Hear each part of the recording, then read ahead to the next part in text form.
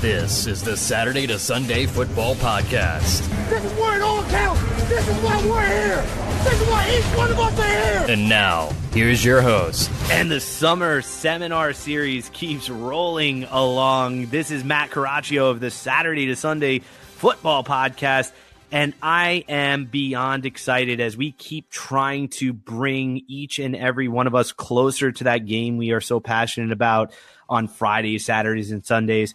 I am hoping that this presenter, I mean, uh, there are, I've had many presenters, but this presenter among many has been somebody who I've considered uh, not only uh, a friend, a, a resource, but also a mentor, somebody that has really opened my eyes to this world. I am talking about the curator of the outstanding website that is Football Beyond the Stats, as well as the owner of Movement to Mastery. And more recently, this person is about to set fire to the coaching landscape with an amazing, amazing educational company and program called Emergence. I am talking about the one, the only Mr. Shawn Myszka. Shawn, welcome to the Saturday to Sunday Football Podcast. Matt, my friend, you are far too kind. Uh, but as always, I uh, hope you know that it's certainly a shared mentorship. So you teach me just as much as I could ever teach you. Uh, I know I've told you that before, but I certainly want to tell you that on the air. Uh, I couldn't be more pleased to be a part of what you're doing here with the summer seminar series yet once again. So thank you for having me back for the second year in a row. Uh, I couldn't be more pleased and stoked uh, to make this thing happen here this summer. Well, the pleasure is really entirely ours. And to be very honest with you, I think that you are, and I've said this to you many times as well, you are really one of the best ambassadors any subject could ever ask for, which is why I think your presence is not just something that we desire, but I think something that everybody out there who is learning and becoming acquainted with in terms of what it is to move and uh, movement science and skill acquisition. I, I, think they must, they must, must, must hear from you when it comes to this discipline. So before we get into it, Shawn, I mean, I know you are on the brink, nay, I say, kind of the precipice of releasing or being uh, involved in this educational company called Emergence. And I'd be remiss if I didn't at least start there. What, well, what is Emergence? Yeah, you know, Matt, when we really break it down, the thing that I've gotten from the last two years of of being in the really humbling position to uh, found and, and, and, be this director or facilitator of the educational experience known as the Sport Movement Skill Conference over the last two years, which obviously you did a fantastic job presenting at here in 2019 on the problem solver paradigm.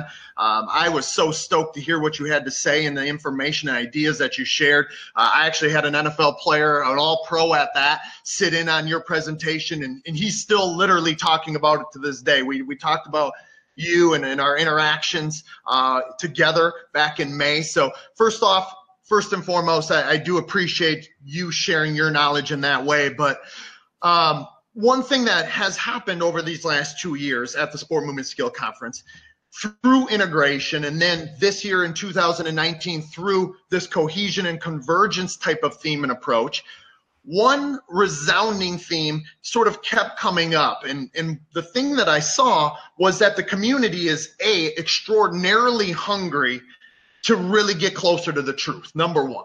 Number two, or B, we found that there's still a lot of confusion these ideas, specifically those that exist within some of the paradigms that you and I sort of hold near and dear to our hearts. There's a lot of misunderstood ideas and terms and concepts, and it sort of intimidates people to a certain degree within the community. And because of that, uh, my friend Tyler Yearby and I had started sort of kicking the can down the road with forming some sort of educational project that was centered around trying to lock arms with the entire community and try to get closer to that truth. Try to uncover the layers and connect the dots that exist with many of these concepts, many of these theories, many of these ideas. Not saying that we already have the truth or know the truth, but to start asking those questions and to lock arms with the right people across the community to get us closer to it. And so, really, when we look at the company emergence and what formed from this union, was this this idea that like emergence in human movement systems it self-organized and it found itself in this place where we feel where we can exist and exchange information with the community in this way and couple together uh, with the problems that exist within our movement science space. And of course, I'm throwing a lot of puns in there, and they are intended because I think this whole learning project is one that actually has a certain analogous uh, approach towards that, which was happening for our athletes as well. This information reciprocal mutual energy exchange between ourselves as this emergence brand and that what the the hopefully the community wants and needs as well. And so we're just kind of piecing together some ideas. Um, we're, we're kind of taking this approach where we are letting it naturally flow and emerge in a really unrehearsed type fashion. We're trying to get out there and hear many of the thoughts and the ideas that exist within not only the thought leaders, such as many of the individuals that presented at the Sport Movement Skill Conference in these last two years, but also the people that we constantly converse with, the attendees and the delegates that obviously poured their time and effort and energy and commitment into the community as well, because all of us together lock arms to create this bigger movement, as you and I always talk about. You being a major component piece to that, all of us really have an, an are a component piece to that. And so to kind of summarize things there, we're just allowing things to unfold and emerge just like they would in the natural, dynamic, complex, adaptive environment. And our first uh, learning project within this bigger brand that is Emergence is going to be a course called Underpinnings. And the underpinnings is many of the scientific, theoretical, and conceptual uh, principle based ideas, specifically with utilizing an ecological dynamics framework to investigate movement behavior in context. So we talk about things such as using a systems lens. We talk about things like information movement coupling and the perceptions and cognitions and actions and how those relationships underpin movement behavior in sport. Uh, we talk a lot about affordances. We talk a lot about um, investigating and analyzing movement behavior in context and what that means. That evaluative lens as a performance professional and what we can do as sport movement specialists to guide and facilitate uh, hopefully more functional movement behavior in sport. So I know that was a pretty wordy answer to your question there. Hopefully, it uh, started to open a can of worms for us, depending on where we want to go and how we want to go there. But uh, we, Tyler and myself, as well as another a bunch of other individuals who are involved in it, uh, Jared Sigmund, uh, Garrett Boyum, and then Michael Zweifel, who you've had on last year in the summer seminar series. Uh, we saw all locked arms in order to take this thing hopefully to another level and uncover some layers uh, where we can start to connect some dots. Well, I mean, the entire list of individuals that are associated from Tyler to Mike to Jared to Sigmund. I mean, you're talking about, uh, I mean, extraordinary minds, uh, you know, really on every level that are really locking arms to create this experience. And I know you guys are still in the beginning phases. Underpinnings is being that major kind of uh, that major kind of product that's going to be released to help the world uh, of coaching as well as evaluation as well as any of those individuals that work with sports professionals really begin to understand you know the nature and understanding of where all of this kind of understanding of movement behavior comes from and i and i kind of want to start there and and maybe maybe maybe I'm asking for uh, a synopsis, unfortunately, of underpinnings, but but in many ways, maybe that's kind of where a lot of people do begin.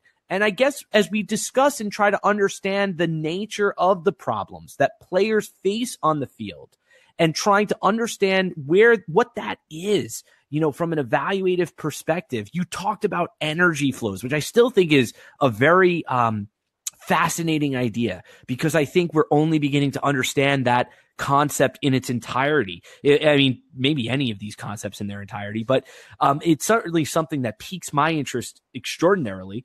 And as well as maybe this idea of, like you said, you know, um, just the the the kind of reciprocity that exists between the environment and the player. I guess where I want to ask you to start is for those of us out there that may not understand the nature of the problems that players face on the field. through this lens. Can you give us a perspective from your course in terms of underpinnings? From an underpinnings perspective, what is the nature of the problems athletes are facing?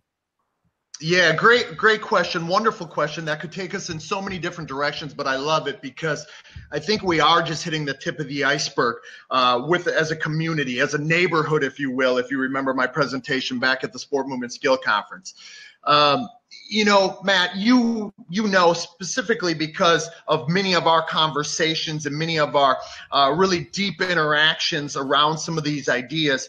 You know how I view sport movement. I view sport movement from a problem solving perspective, much of like what you do with your problem solver paradigm. Uh, of course, um, I'm always humbled when I hear you talk about it because you're talking about many of the things that I've viewed sport movement through or the lens that I've used to view sport movement behavior through for such a long period of time. And it's one where we do give equal symmetrical ode to or homage to both the problem and the solution or solver, right? Both the problem existing in the environment and the tasks that need to be solved there, and the solutions in the solver and how they connect to that problem. You know, in the ecological dynamics perspective, and, and then through the course of underpinnings, as well as any conversations that I have with the majority of people, I always implore people to start viewing sport movement through this lens, right?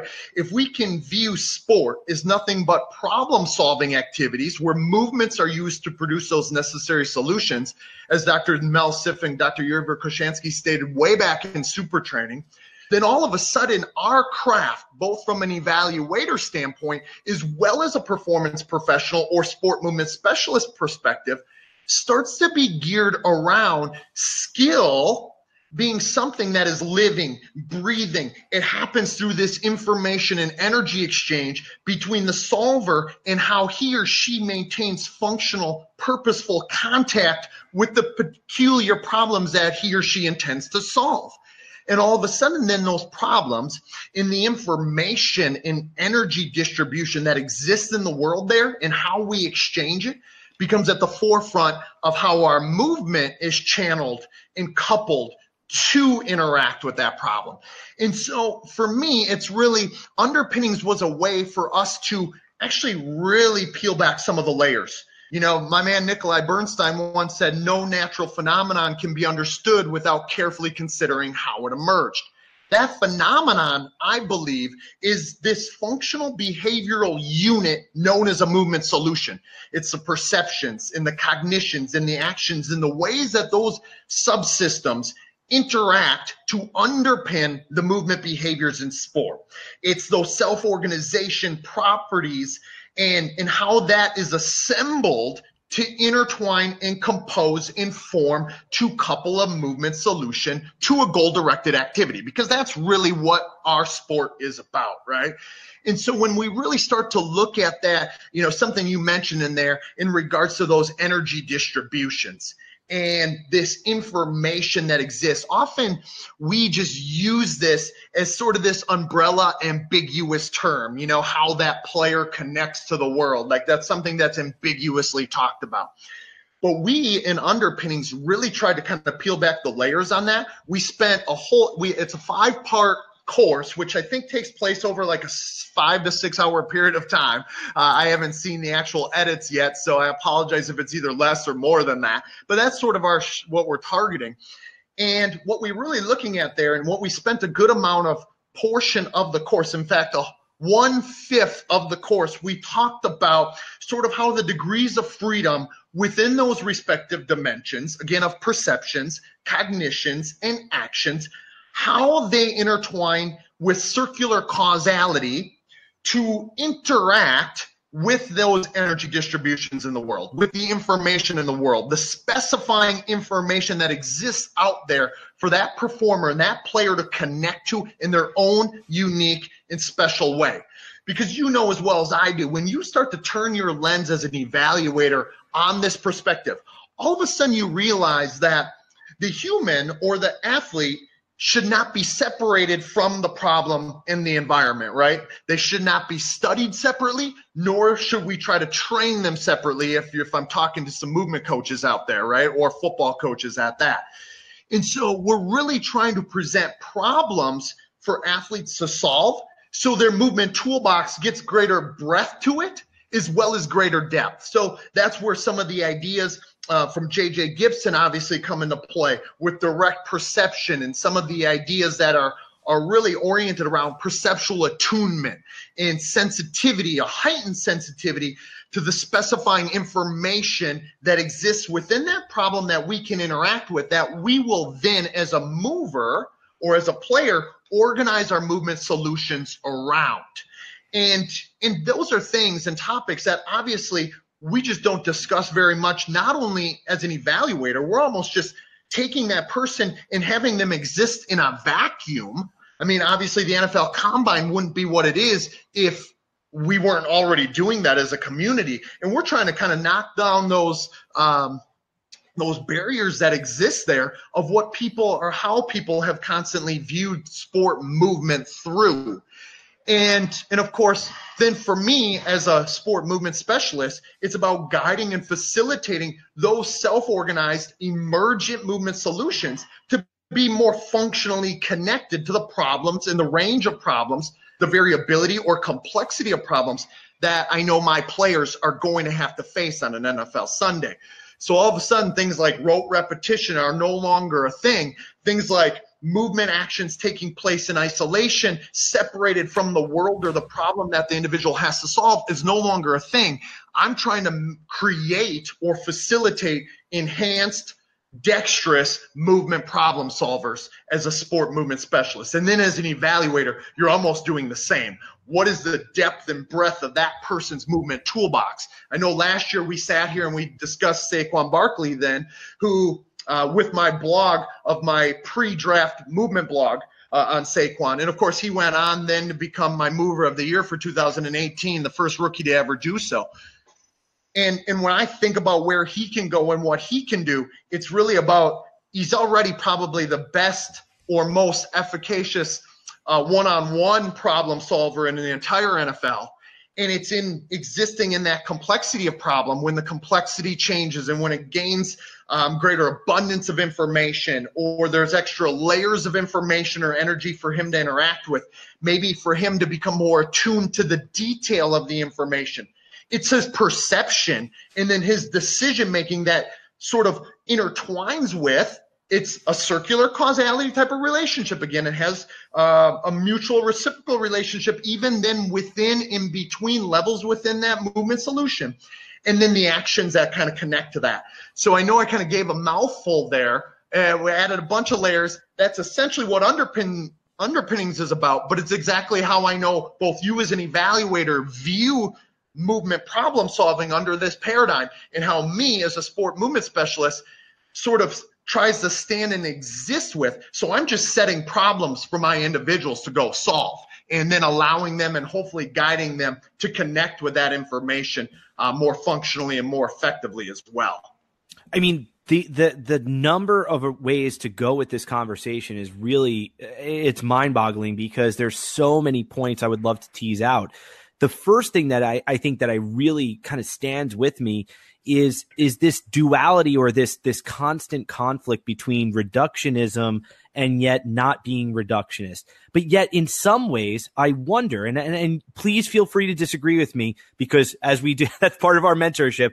You tell me I'm wrong. Um, but in some ways, it seems like we are being forced to reduce to some level the problems that are inherent which so in other words not not totally ignoring the idea that there is this sort of hierarchical or maybe uh, multi-system type of situation that players are dealing with on the field. But from a coaching perspective from an evaluative perspective maybe we're trying to capture or reduce the problem areas the player is having. Is that is that a bad is that a bad way to synthesize it? Or is that somewhat within the realm of accuracy. And if it's not or if it is to what degree does it need to be improved upon? I, think that's a fantastic question that I wish we had a hard set answer to. Uh, I think it has to be done to a certain degree simply because we have to try to make comparisons between performers. If you're an evaluator uh, or as a sport movement specialist or football coach you have to be able to determine what the most optimal or correct problem solution exists there what that relationship may look like for the performer so we have to make certain we have to kind of put ourselves out on a limb in both of those respective niches that we exist in right to make um, analysis a little bit more accurate for the performer because otherwise, you know, we're just out there sort of on a whim trying well, to determine I, you where know what, they let me exist. Ask you, yeah, let ahead. me ask you something, Shawn. So, because if we don't, then we're just playing the game. Yeah, yeah, exactly. And and that's sort of where I was going with it from a sport movement specialist standpoint, because obviously that's where I exist, and hopefully I'm speaking to some football coaches there as well, right? So it isn't just allowing people to play the game or or letting the game dictate what happens, right? It is in that mutual reciprocal relationship. And you know, I put out a blog back at the beginning of 2018, the 2018 season, where it was entitled "Respect the Problem." And the only reason why I said that is it was we have to respect the problem for what it stands for, what the range of problems could um, be presented to that respective performer based on their position and based on the level of football they play at. Uh, but also the information that flows from those problems and the affordances that exist there, right? The invitations, the opportunities in these problems, in in the whole manifold or bandwidth of that problem. And so I think there is something to there where we have to reduce them to a certain degree. But I think us in this football community on both sides of the coin, both the, the scouting and evaluator and analysis lens, as well as then the sport movement specialist or football coaching lens, I think we've been far too guilty of isolating and reducing it too much. And I think that's the problem that we run into there when we're not viewing it enough in that systems perspective. I think everybody would be well versed, everybody that's listening out there, and there's a number of, and maybe you could link it even when you put this out, uh, a, a place called or a website called Systems Innovation has a number of courses out there that are free for people that whether no matter where you exist and no matter what you believe within this realm or within this niche and community I would implore people to even just get enlightened a little bit in regards to a more systems lens or paradigm of viewing things, right? If we're ever going to get to that problem solver paradigm, both on your end, Matt, or mine, my friend, like we, either one of us views it as a problem solving paradigm, right? But if we're ever going to get to that point, and we make it have or allow it to have practical application for us in our craft, we have to understand a systems lens and a systems way of viewing things. And all of a sudden, we don't look at it as the parts anymore.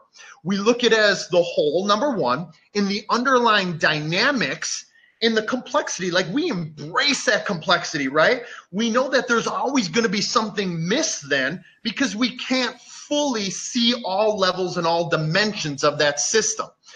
But yet, at the same token, we can respect it and we try to appreciate the complexity that lives there, the underlying dynamics that create these interrelationships as they exist. So we don't try to look at this analytical lens down to the pieces and the parts per se, but we synthesize them together in regards to how those component parts of those respective systems will interact and how they relate to one another to create and form this cohesive emergence of a whole. And that to me is a totally different way of viewing things. And only by existing there can we fully respect the problems then that our performers are, are going to go solve. And, and so I think we do have to reduce it, but we have to be careful to not isolate and reduce it too much so we water it down to be at a place where it no longer even resembles that, which happens on an NFL Sunday.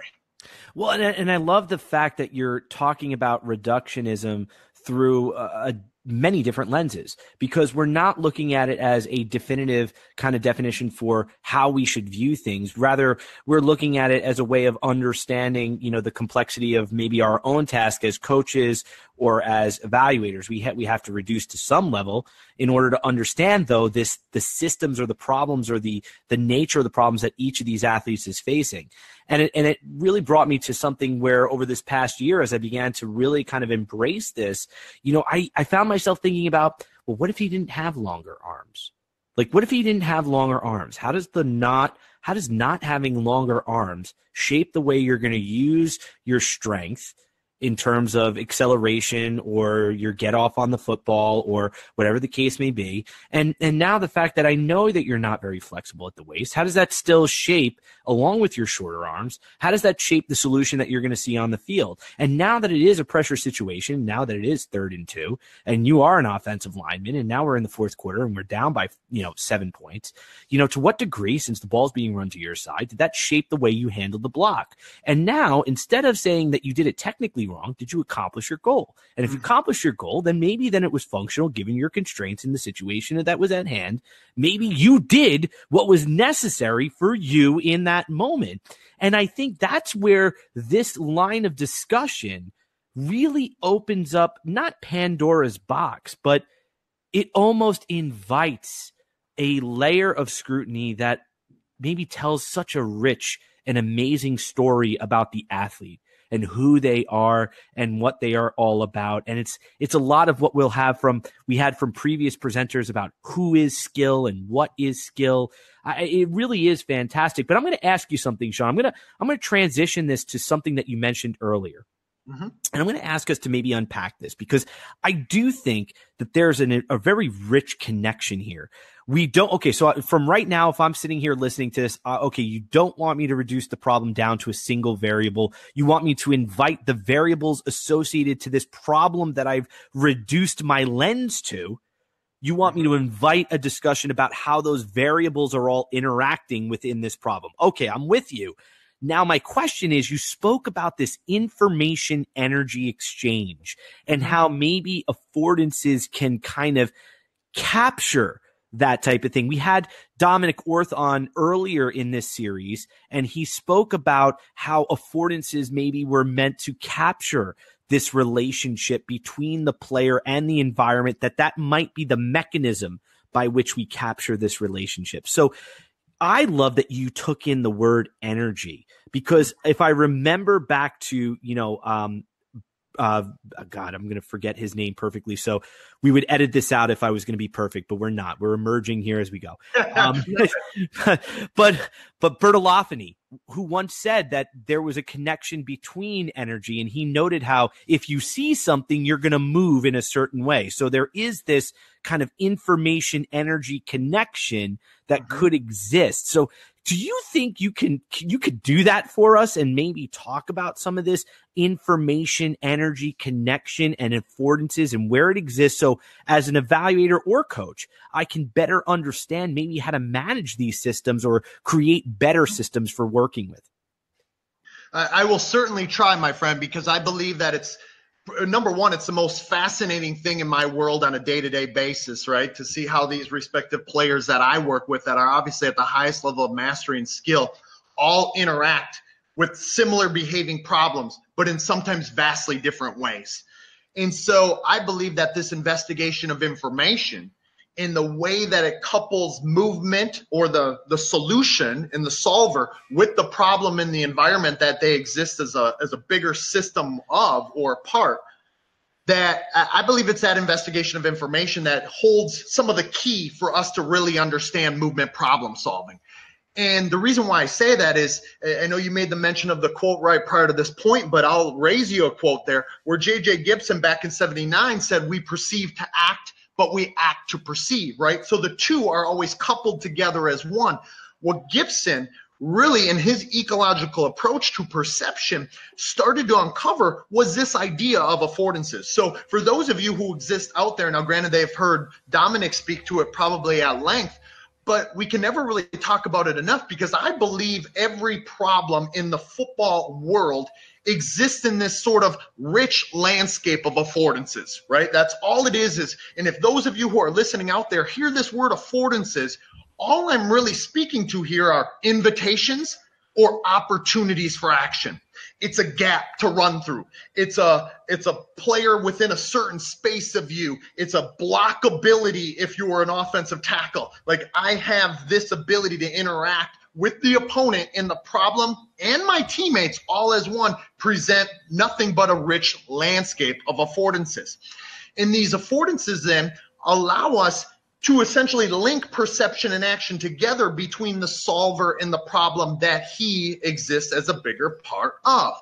So, using like a Saquon Barkley example, there are certain affordances at the first level, there's certain affordances at the second level, and there's certain uh, affordances at the third level, right? And those affordances are going to change based on the problems that he's being presented with and the way that he's interacting with this information. This information and these energy distribution that exists out there are essentially our perceptual abilities to detect the information and energy as it exists as it is in reference to us and our action capabilities, right? Like Saquon Barkley's action capabilities are significantly different than Shawn Myszka's. Okay. And so when he and I both interact with this information, certain affordances are going to be specified to him. Me. They're going to be different, obviously, because we have different action capabilities. But where you were going with your point in between question and answer here was certain weaknesses that have been, or characteristics rather, that have been viewed as weaknesses, whether it's in the movement or the physical structures or characteristics, maybe they're not actually weaknesses. Sometimes those things that make us different than all other performers actually just are strengths because we can still find ways to solve the problems functionally because affordances sort of say that we can, right? Like that person just won't accept the same affordance as another performer. They maybe have a different solution. They see the information, they perceive the information, they feel the information differently. And because the information specifies affordances or the invitations and opportunities that are going to exist in that respective problem, we still probably have an opportunity to interact with it in different ways. And so that's why affordances and information become such a vital thing for us to investigate. And that's exactly why I said we must respect the problem and the complexity that exists there. Because again, the problem has degrees of freedom, just like the solution or just like the solver does, right? And because of that, and those degrees of freedom are just different ways that it can be organized and we can still get to a certain outcome because of the underlying dynamics in the process of execution are going to allow us to just have this natural self-organized emergence of those degrees of freedom. So when a problem and a solver interact with one another and they're going the solver is going to find certain opportunities and invitations to act within that information and if, just like any invitation, they can choose to accept it, they could reject it, so they could not take it and move on to a different affordance, or they completely they could completely ignore it because they don't have the action capability of interacting with it. Right? So it could be this active decision, but it also could be a more passive decision because they're not even finding the same gap. If if Saquon Barkley and I both get one on one in the open field with one of the better safeties in the league, he's going to perceive and detect different affordances for action than Shawn Myszka will. There still might be an affordance for action for Shawn Myszka, right? But it's probably not going to be the same as Saquon Barkley. Therefore, Matt, where we kind of get with this discussion in regards to understanding information that exists or the information that specifies certain affordances is understanding just how that player perceives and picks up and detects information in the world, what affordances for action they're more um, ready, I should say, to interact with, and which affordances they completely reject or ignore. And now we can start to speculate as to why they may re- reject or ignore those affordances, which is exactly where I kind of live and breathe with my performers because most of my performers – uh, are obviously very highly successful before they ever even get to me, right? But in order for me to guide their movement skill to be more functional, I want to widen the breadth of their toolbox. And that simply means either A, opening up their degrees of freedom so they have a bigger optimal grip over that landscape of affordances. They can interact with it in more ways. Or B, they can become more attuned to understand that information and what it means to them authentically in their movement solutions to begin with.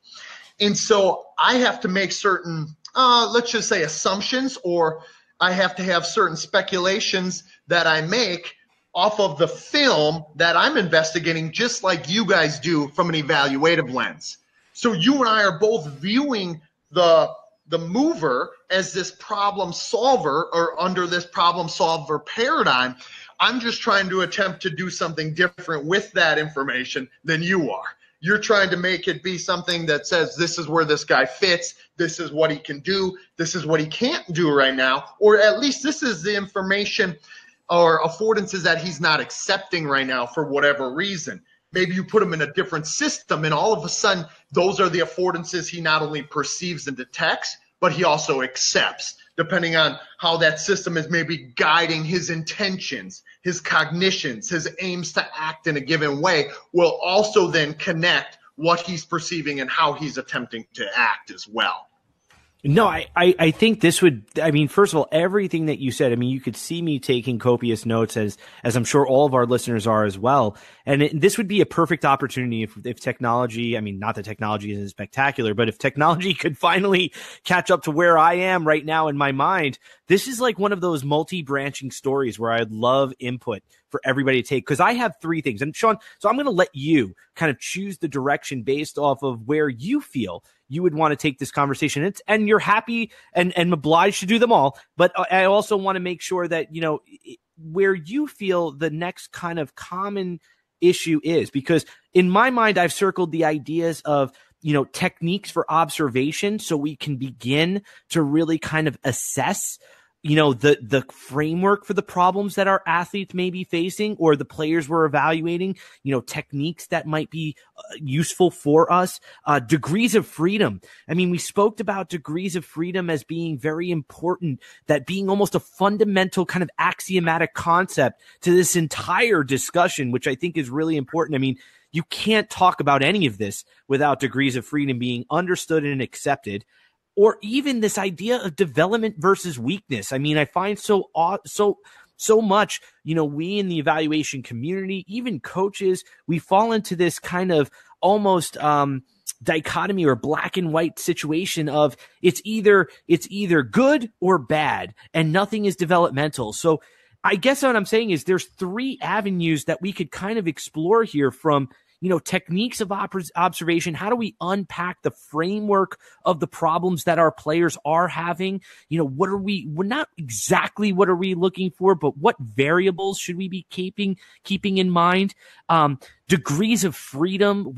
That's a fundamental axiomatic concept to this, even this idea of ecological dynamics and, and your man, Nikolai Bernstein. I mean, we'd be remiss if we don't give, give due credit where due credit is due. And then also this idea of everything is either strong or weak. And what does developmental even mean? Is there really even such a thing as a weakness?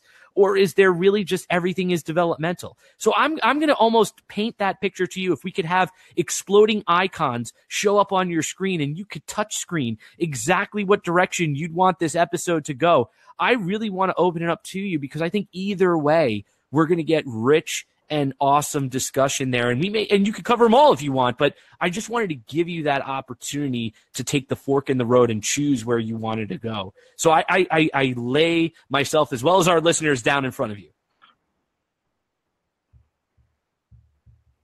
Well, that's always the dangerous place to be when uh, when you pose a number of different questions for me and give me a t- couple different directions or a few different directions for me to go. But I love uh, the self-organization and the emergence that hopefully will exist here, because I think they are all viable directions and topics and paths to go down, because they do start to take us down these rabbit holes that you and I enjoy going down so so very much.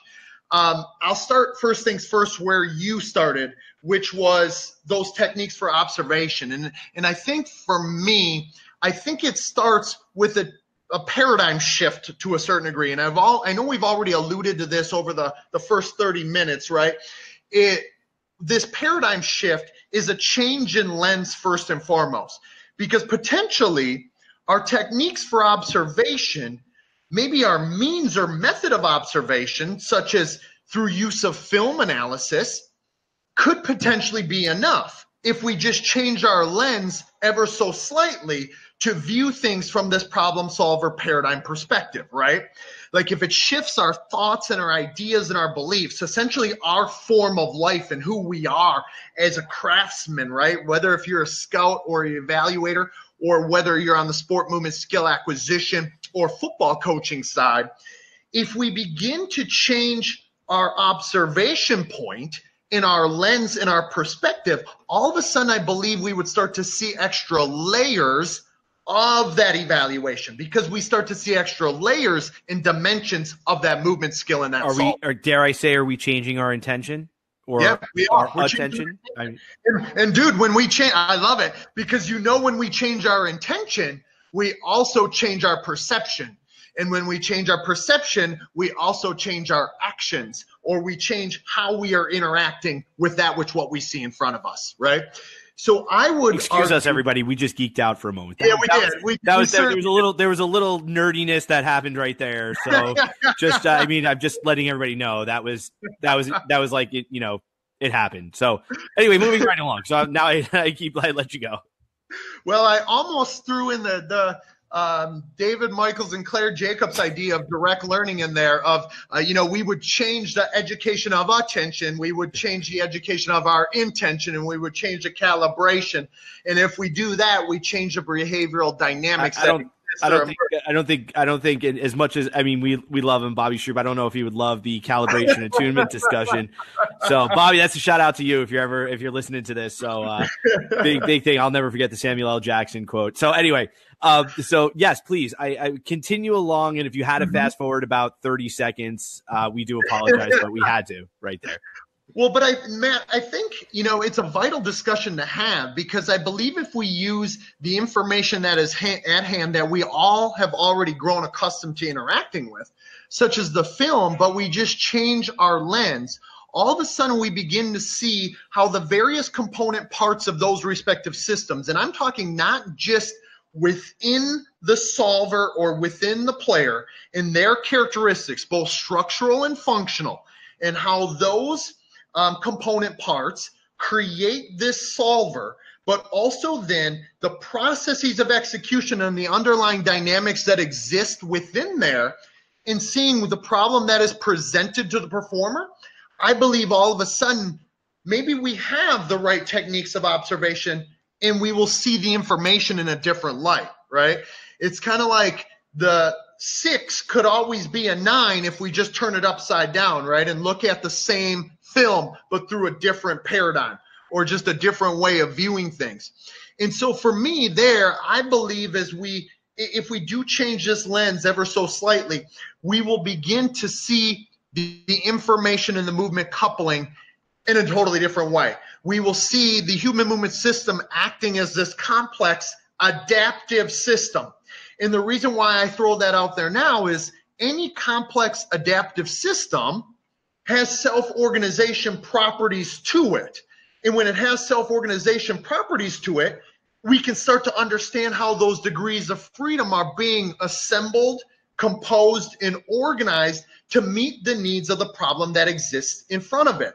You know, when you start to understand complex systems, you realize that any complex system is united based on some source uh, of sort of common uniting type of uh, um, resource. And that resource from the problem and the solver is that information that we sort of talked about ad nauseum, right? Like that information then becomes this link. And so that's how degrees of freedom. And if I think about it or try to expand upon this ever so slightly for the listeners, I'm not just, and even those movement science junkies that are out there are probably thinking degrees of freedom simply from a motor system or biomechanical degrees of freedom. But if we're going to talk about it from a problem solver paradigm perspective, all of a sudden we can talk about the sensory and perceptual subsystems in the degrees of freedom that exist there. Dominic may have talked about that to a certain degree when he talked about climbers, right? Expert climbers interact with different or varying levels of that sensory subsystems. We, we don't just have one sensory system, right? It's not just a visual layer of information connection that we're trying to perceive. It's there's haptic and there's touch, and maybe Dominic touched on that or, or discussed that to a certain degree. Obviously, that happens in American football. There's this kinesthetic sense and per, um, proprioceptive awareness that exists in the sensory and perceptual qualities. And all of a sudden, we start to understand our capabilities differently based on all of these degrees of freedom from a sensory and perceptual level in all of the dimensions that exist there. It's it's both between levels and it's within levels of these respective subsystems. Then we can look at the cognitive degrees of freedom that ex- can exist there. Obviously, performers can have different thoughts, different aims, different motivations. Um, they can have varying levels of anticipation that could potentially exist those cognitions are going to have degrees of freedom as well. There isn't just one way to solve any of these respective movement problems. And then finally, we can talk about the motor system and the action degrees of freedom, right? The, the way that the biomechanical degrees of freedom are being organized. We could have a lunge cut, we could have a power cut, we could have a crossover cut. All of these things exist. A guy could have his uh, inside foot forward. He could have his outside foot forward. I mean, all of these things, um, deg- you know, degrees of freedom could be base of support, center of gravity, all of these things that we're referring to here that are functional biomechanical degrees of freedom. But it's not just viewing them and investigating those degrees of freedom in isolation, in an analytical part way. It's in interaction and in relation with those other subsystems. And that to me, when we talk about degrees of freedom and we talk about the emergent self organized movement solution, I believe we have to investigate it all. And I know that there's going to be some listeners out there who maybe like Bobby are saying you're making it too complex. But the point that I would make to all here is that anyone who would tell you that sport movement doesn't exist in this complex lens hasn't watched enough sport movement and they're not being honest with themselves it is more complex than we make it out to be, often in our isolated reductionist lens for our cute, nice, neat way of explaining things. But oftentimes that cute, nice, neat way of explaining things is wrong. And it because it doesn't respect the problem and the complexity that exists there. And no, I think tying I, things together, you know, tying things together, then it, it bridges both of those gaps there between our analysis in a synthetic way right? Exactly. Uh, it's very synthetic right? Yeah, it's a synthesis of that, right? It's a synergy. And therefore, that's why our friend Rob Gray would say we must keep them coupled. He's not talking about just perception and just cognition and just action being coupled. He's talking about the environment and the and the problem that it presents to the solver and the solver's intrinsic dynamics of their movement toolbox as well. All of those things have to be coupled. They have to, from an evaluative lens as well as from a development lens. And I think that's the other side, like tying in that last question then, when we think about this development versus weakness. Many of my players, even some who are all pros, there's still going to be gaps in their movement toolbox, right? There's still things that I'm doing with guys that are all pros out on the field. I'm trying to widen their grip on their landscape of affordances, right? The way that they connect with the world. In fact, this year, you know, you probably know or will remember from previous years on my blog, I've talked about this. Last year, our theme as a whole collective unit, my players and I, was adaptability within adaptability. And really, all that was is we know that the human movement system is a complex adaptive system. We tried to force our way into adaptability in everything that we did. You will find it interesting that this year, our theme was the honest expression of oneself. And so when you take that last point that you were talking about there with development and weakness, it was the embracing of who each one of those players is. One of them was an individual you met that I mentioned earlier that sat in on your presentation. You know, several time all pro Everson Griffen. And he, in all the analysis coming out in his draft reports, they said a whole host of things, right? One of which you brought up earlier about the short arms. We've embraced him interacting with tackles in certain ways based on his anthropometric features. He doesn't know anything different than having a certain length of arm, right? And we've just found ways to use that and embrace that and allow that to be who he is. And and I would be amiss if I didn't give credit to Bruce Lee for that idea of honestly expressing oneself because that's where we got it from. Uh, we all got shirts made up that said "Be like water," uh, so that was sort of our theme for this year. And when we think about what that actually means, it takes that last question that you presented, it holds that sort of constant state of adaptability or development that you mentioned. It's in being in this constant state where skill is never fully matured. Skill is never fully evolved. It's just maturing and it's just evolving and it's just developing. And we are always acquiring more of it, hopefully in a more attuned and adaptable way, right? And so now all of a sudden those things that honestly expressing oneself and being like water, being what the problem requires for you. Water can flow and it can crash and it become it can become this, but it's still formless and shapeless to a certain degree. It just becomes that which what it needs to be based on what the problem offers it. And water will find its way based on the the context creating the content.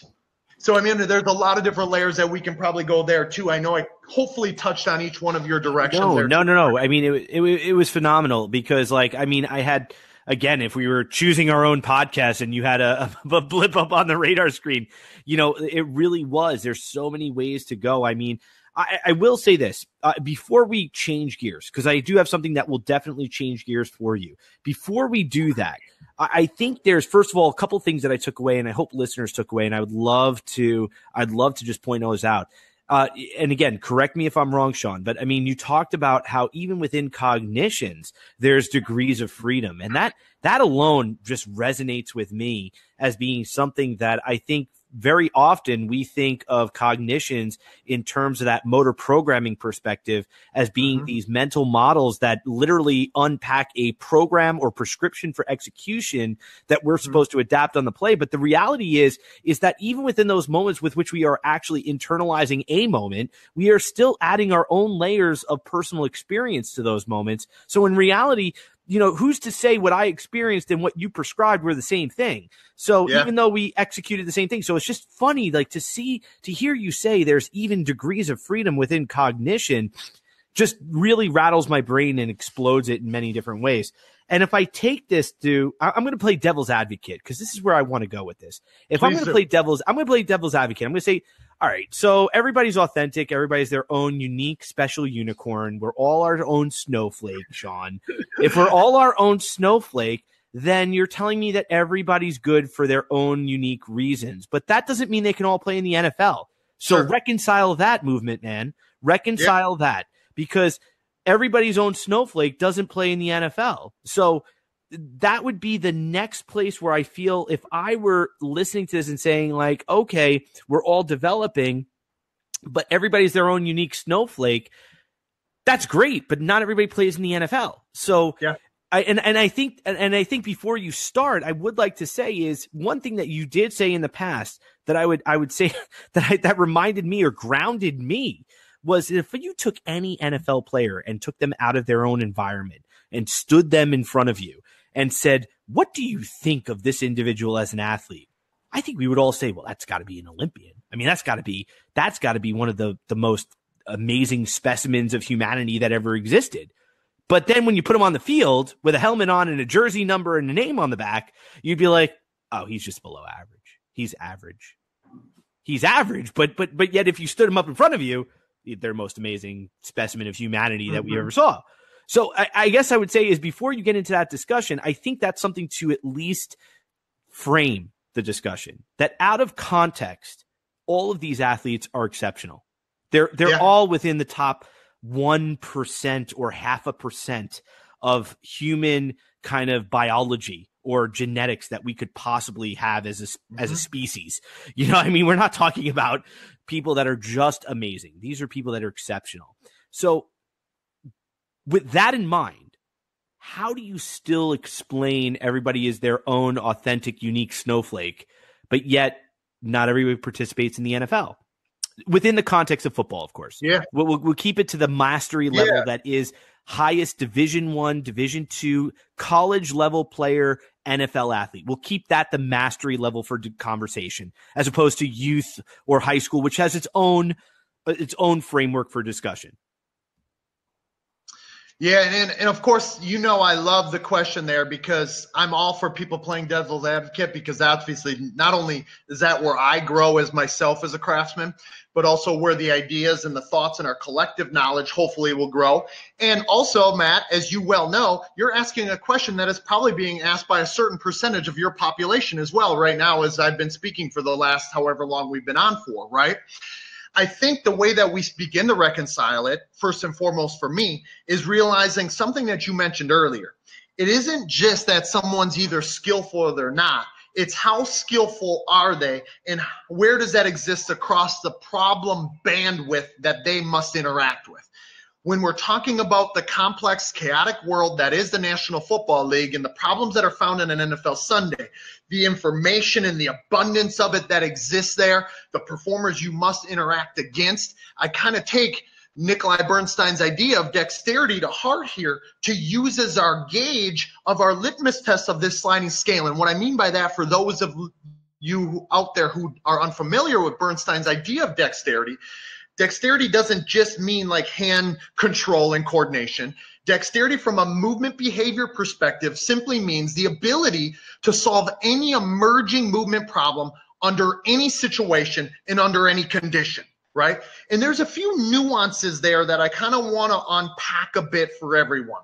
Again, it's the ability to solve any emerging movement problem anything in this breadth of problem that could potentially be presented to us and at the level that we're speaking to here. Obviously, the National Football League that has an abundance of information. Again, has layers of information, all deep and rich for us to go interact with. Sometimes it's really difficult to distinguish, right? Uh, Saquon Barkley moves a little different way every single time that that linebacker meets him in a hole, right? And so now that we can look at those interacting component parts and the degrees of freedom that exist there as well. So the emerging movement problem, but notice something that Bernstein said in there way back in the 60s when he was talking about dexterity and movement skill is no matter the situation and no matter the condition, right?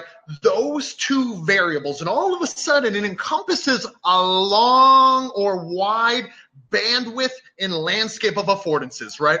What affordances could potentially present themselves within this information and this problem that that performer must go interact with?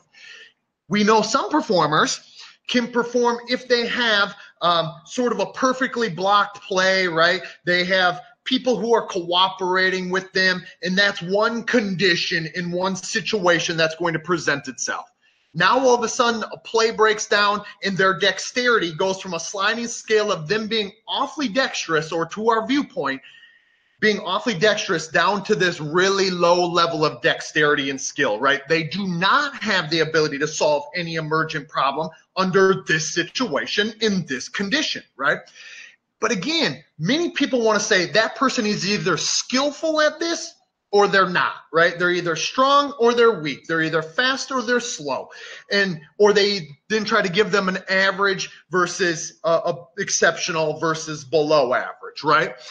And again, sometimes that lens that we're looking through isn't taking place in the contextual space that we need to have as our investigative lens, right? These movement behaviors are not occurring in a vacuum.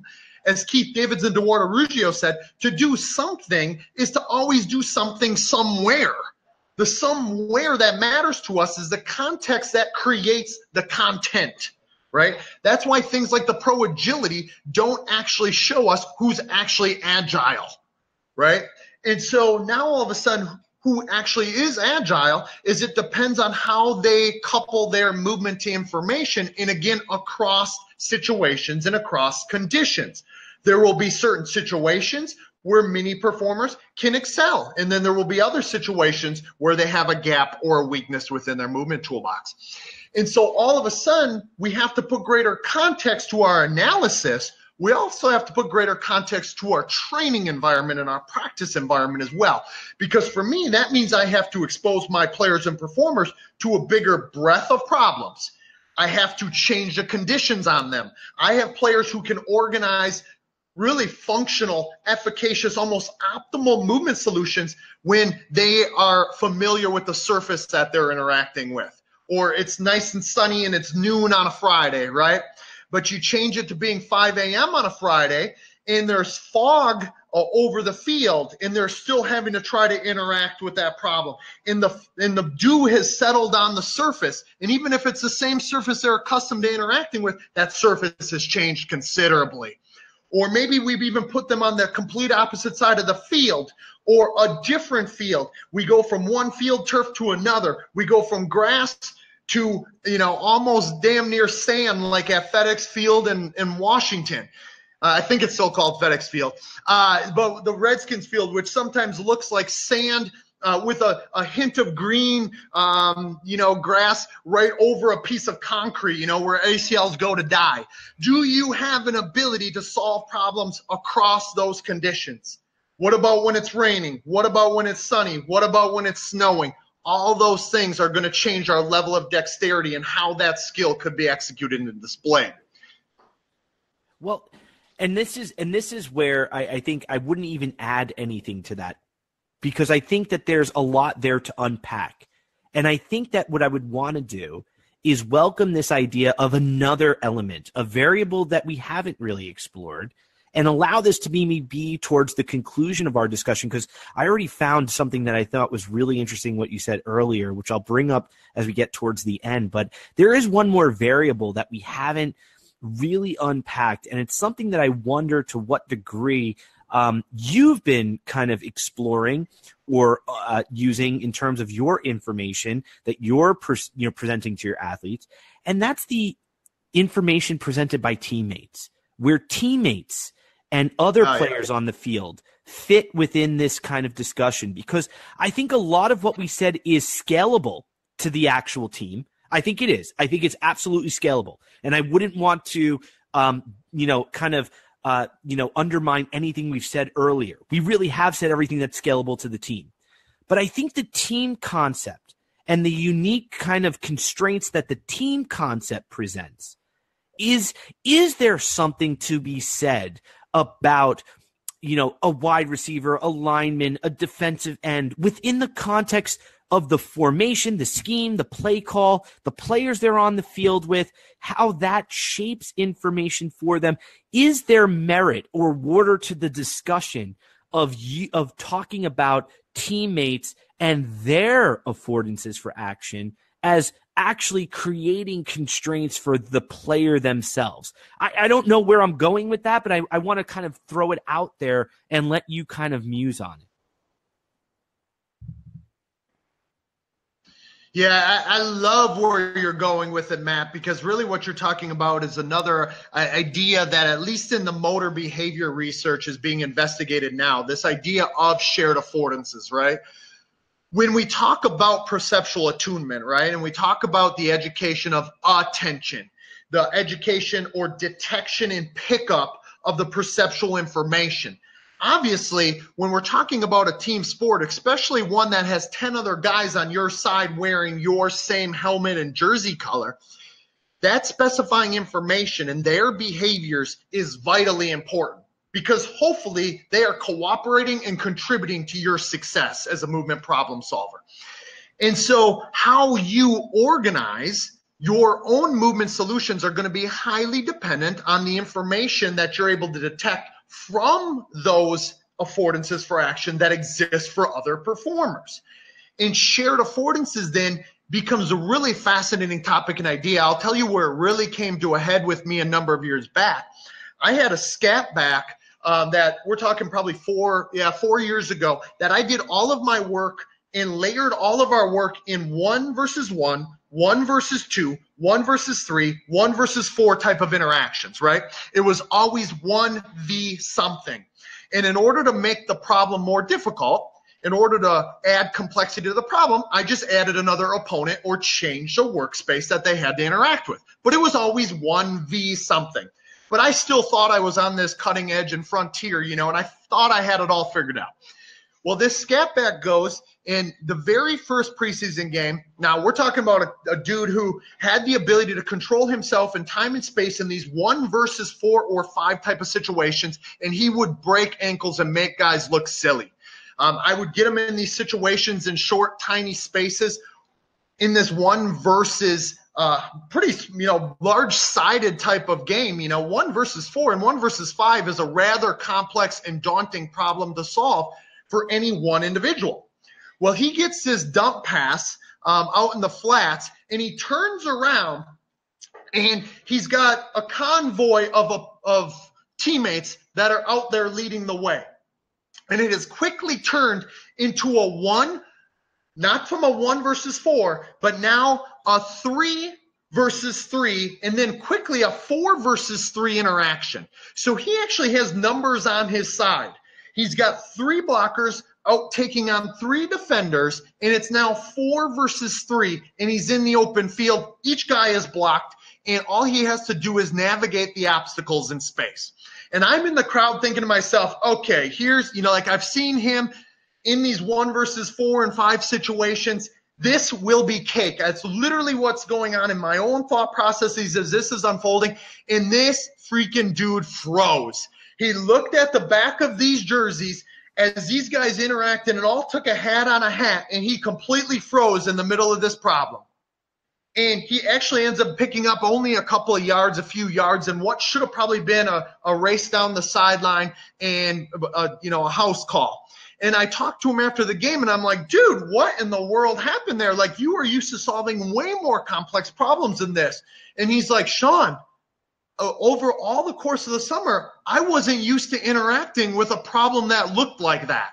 And now, almost verbatim, he said that to what I just said. Like, I wasn't used to interacting with a problem that looked like that, that felt like that, that behaved like that. I wasn't used to seeing my own guys in front of me. And all of a sudden, this light bulb went off, and I was like, Shawn, you are a freaking dumbass. Like, you kept adding these layers of complexity into this guy's problems, and you totally forgot about this informational variable known as this individual's teammates, who hopefully are going to cooperate in his coordination out on a football field. And I never felt so dumb, but hopefully, yet so many light bulb moments because now since then, most of the complexity I layer in has to do with the interaction of component parts of the teammates, both offensively and defensively, because it's always going to be this coordination and cooperation, hopefully, between those interacting component parts. And those interacting component parts of the system just happen to be one's teammates. And you start to learn now, once you're in those situations, you start to become attuned as a performer to how your attention and your perceptual detection and pickup has to flow based on their movement behavioral dynamics as well, because they're part of the problem and potentially part of the solution as well. Well, no, I, what I find so fascinating about that, and I'll take you inside my, my, my kind of mental toolbox that I've been developing as, as kind of, as I've been exploring this world of evaluation through this lens. And I had read an article by, um, uh, I forget his first name, Shuttlesworth, um, yeah, where he right. was talking a lot about this idea of um, you know th- these ideas behind you know looking at you know different um, different informational variables on the field and how they shape you know performers. And i was thinking about you know when i think about the wide receiver position and you know what their principal tasks are and what they're trying to accomplish you know they're trying to create space for themselves in order to create space for a passing lane. And the defender is trying to preclude, you know, that ability or perturb that ability to create space by obstructing passing lanes by while also staying conscious of proximity to the end zone and proximity to the first down marker. So I'm like thinking about all those things as as the play is unfolding, and I'm like, you know, what constitutes space enough for one player is not space enough for the other player because of their own affordances for action and that of their own quarterback as well as then thinking about the defender and their own physical capabilities, what they perceive their own affordances for action are in terms of preventing those successful exchanges and how it really it doesn't it doesn't make it complex. It makes it fun. It makes it fun. I mean i'm, I'm just going to throw that out there too. It makes it fun. It makes it more interesting. It allows this graduation of the child's game to one of just absolute uh almost like a chess match where we're just investing physical and emotional and tactical, technical, and you name the adjective that we could use here to describe just the many layers of of just interest that this type of game could could bring about in people's understanding. Sport is a beautiful thing, and and I don't mean to dive to deviate, but I wanted to kind of bring this maybe to a little bit of a close. And I usually would say to you, Hey, Shawn, give me a salient point. But I, I almost want to present you with a point that you've explained to me over the, the course of the last couple of years that I think has really affected me as an Please evaluator. I think the notion of thinking about myself in the player's shoes has really been instrumental in helping me begin to action the lens with which you spoke so eloquently about. Shawn, what does that mean for somebody who's who's now asking you, what do you mean be in the player's shoes as we begin to understand this world? Yeah, I love the point that you're making there, and I love the direction that you're going because it's one that I have to attempt to do if I'm going to ever facilitate more functional, more optimal movement problem solving, right? I have to put myself in their authentic perceptions, cognitions, and actions. Because if I don't, then I'm just trying to treat everyone the same. And and I'll tell you, Matt, uh, because you've kind of heard this story before, because I have a rather popular, uh, famous mm, generational type of talent of running back that I have worked with at some time or another, and then a few times or another throughout the years. And early in our time working together, uh, I used to, because I knew what his aspirations were, I tried to guide him to be something that he wasn't. I was trying to fill gaps and present value to him by exposing him to things that maybe weren't authentic to him.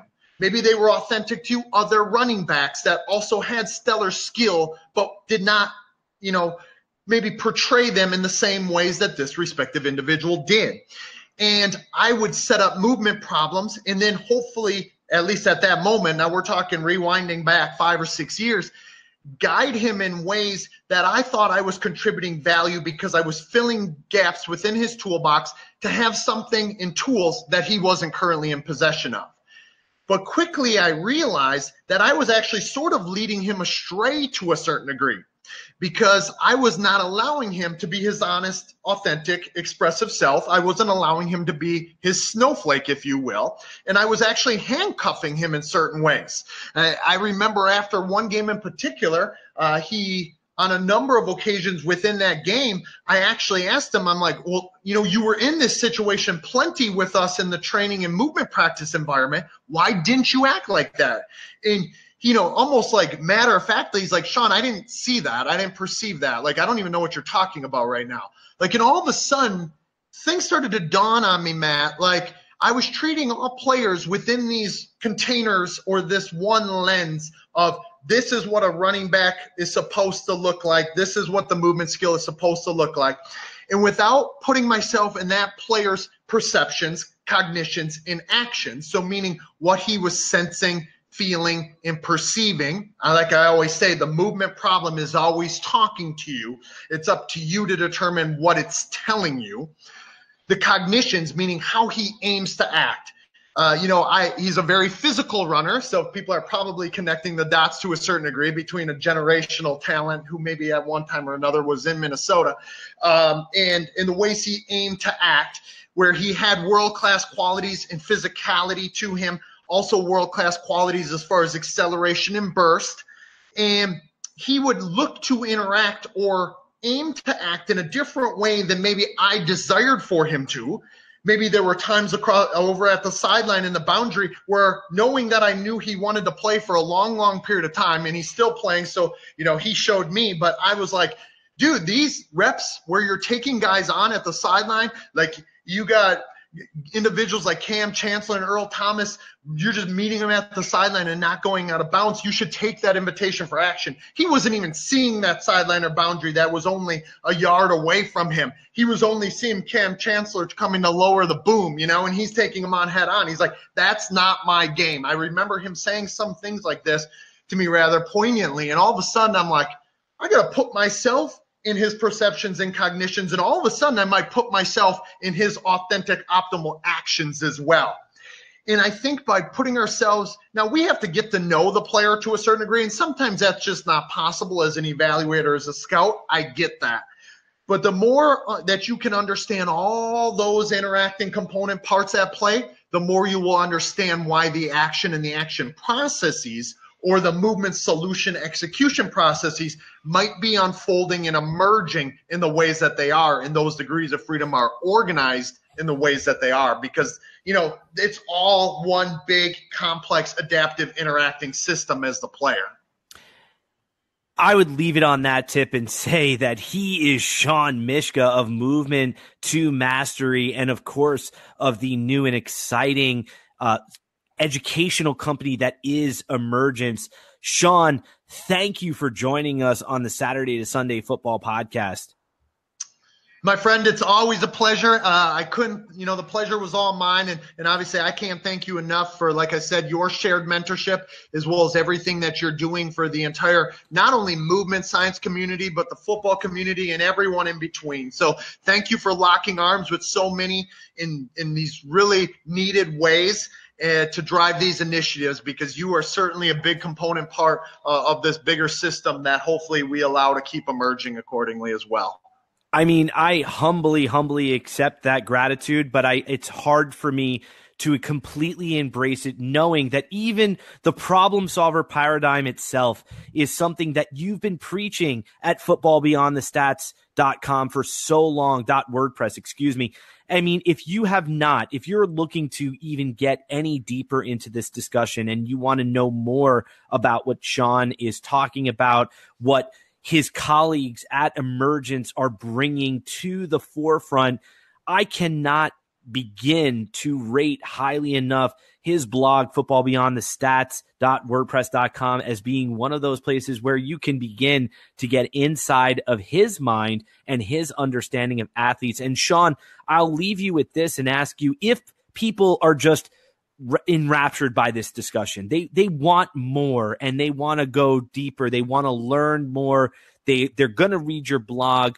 When when can we expect or how can we begin to interact with you or begin to look at emergence as our next calling in terms of our coaching practices? Well, certainly, I would give, uh, you know, I would implore any listeners out there who want to dive deeper into some of these ideas to obviously even send me a message or, uh, you know, reach out, um, contact me at Movement Miyagi Twitter. Uh, so at Movement Miyagi, uh, or someone can feel free to email me at my uh, old email address, Shawn, S H A W N, at optimizemovement.com. Uh, I, I'm going to be somewhat embarrassed to say I don't know my new emergence email address yet. Uh, so feel free to, to hit me up at either one of those respective spots. But what you guys can sort of expect from emergences within, uh, depending on when this is released, we're probably looking at a number, another three or four weeks until underpinnings is released and then we're just going to keep producing more and more content in certain ways to hopefully keep adding layers to this big complex system known as sport movement. And uh, obviously, uh, I would implore and invite and be humbled by anyone who uh, wants to see that, feel that, and breathe within that uh, because I think it is all part of our bigger community that we all are trying to contribute something to. We all hopefully will have a seat at the table that will contribute to this bigger piece of the pie and, and get us closer uh, to this initiative of finding the truth as it pertains to sport movement skill. And I would agree with that. I mean, if anybody is interested in this, I mean, I know I'm going to be one of the first people taking all of his courses. Um, it's something that I am passionate about. This idea of how we learn, how we move as human beings. I just kind of identify with this. And this is where I sit as a practitioner, evaluator, coach. This is where I live and breathe as well. And I'm excited to, to really see what this content will offer and any of his colleagues from Tyler to Jarrett to Sigmund. I mean, these are outstanding professionals to, to also seek out and seek knowledge from. And if you are interested, I know we will be having the third annual Sport Movement Skill Conference soon on the way as details are released as we get into this following year. I cannot tell you just as a presenter how amazing of an experience it was to lock arms and meet all the different professionals from across. And not everybody agrees, guys. Not everybody agrees. Nobody necessarily has to agree with this idea, but the idea that we at least celebrate alternative opinions is really just the amazing part of this discussion and what's so incredibly impressive about all the individuals responsible for this community's growth and perseverance throughout the landscape of that is coaching and evaluation. It really is something to behold. So the Sport Movement Skill Conference. Shawn, I know we can expect the third one coming soon and details will be following. Um, I, I, just, I really, I am so excited for that as well. I know I will be out there as well, um, wherever that shall be, whether it be Minnesota or elsewhere, I will be there in attendance. And to everybody out there, if this is something that you're passionate about, the resources are available the, the passions are available, the hearts are open, people want to do this and learn more about it. I I really do implore you to seek, learn, and at least dip your toe in the water and see what you think of it. If you don't agree, you don't agree. And you know what? That's a great discussion to have because all of those discussions, that was what was so great about the Sport Movement Skill Conference. If I can just be a poster board right now for it, that was what was so great about it. Not everybody agreed, Shawn. Not everybody right. agreed. And, and it's certainly as you know, in 2018, in the first uh, edition of the Sport Movement Skill Conference, we were all about integration from those multiple niche worlds. This year, we took that integration another step further and added a layer uh, and we aimed for cohesion and convergence and tried we all tried to meet in the middle uh, from our respective perspectives uh, that all have value uh, because again it's all seats at the table and it's going to take all of us in order to try to find the truth. So i couldn't agree with you more. Uh, i thank you for everything that you've done for the entire movement community and everything you did for the movement uh, if you will and everything that you will continue to do and where things are going to go and emerge and you know what? For everybody out there that's sitting at the table as well for this podcast, thank you so much for giving your time. I hope, I hope every minute was as worth it for you as it was for me in terms of the notes, ideas, concepts, and paradigms you can take away from it. And thank you so much for attending this movement seminar series, this whole seminar series on the nature of the problems that players face. And please continue to follow this series as we begin to unpack even more dimensions of the nature of the problems that players face on the field over the summer. Thank you is the best way I can say it. And please join us next time as we take you from Saturday to Sunday.